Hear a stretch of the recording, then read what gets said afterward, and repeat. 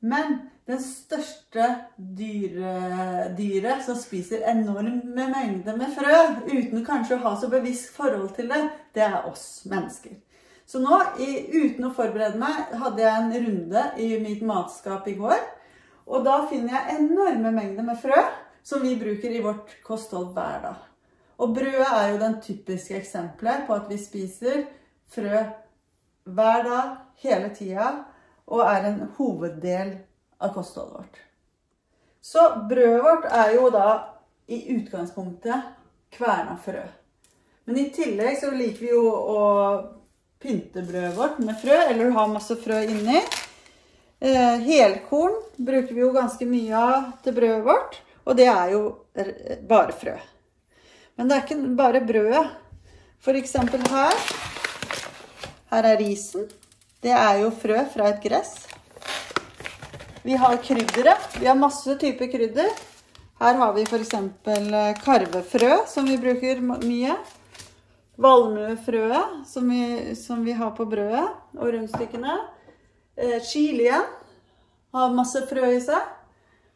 Linfrø. Gresskarkjernefrø. Ertene. Ertene er jo frø. Linser. Mais. Nøtter. Vi har veldig mye av kostholdet vårt basert på frø. Så vi spiser også mye nøtter, og det er også frø. Der har jo nøtteskallet blitt hardt, sånn at uh, dyr uh, kan samle de inn for eksempel hasselnøtter og lagre de lenge.